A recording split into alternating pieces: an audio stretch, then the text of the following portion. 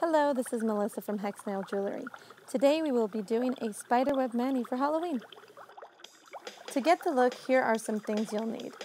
Four spiderweb nail vinyls, scissors, cuticle nippers, tweezers and nail glue, your favorite base and top coat, some white polish, orange polish, and a tarantula charm to top off the look. All right, let's do this.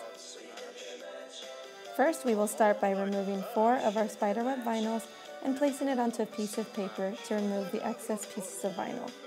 I rubbed it onto the paper and slowly removed the vinyl. Then did the same to the other side.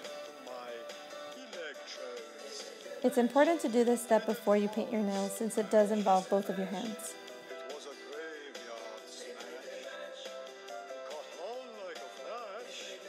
Once you've peeled away four of those spiderweb vinyls, you will be cutting two of them into four pieces, one for each hand.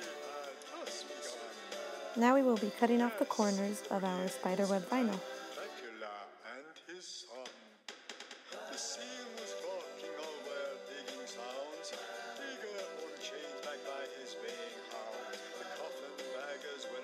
We can finally paint our nails now. We'll start with a base coat then paint all of our fingers orange except for middle and thumb.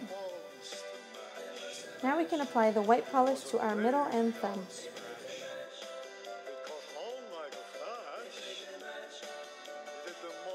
Voila! Here they are, all cleaned up. Now we can apply our corner spider webs. Push them down and remove the excess with cuticle nippers. Transylvania twist?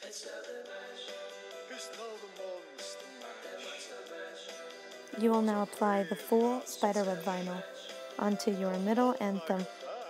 Press down and make sure you get those corners. Using your cuticle nipper, you can cut out the excess spiderweb vinyl to make sure you get that perfect fit. To apply our charm, we will use nail glue and some tweezers to pick up our charm. Or use your fingers.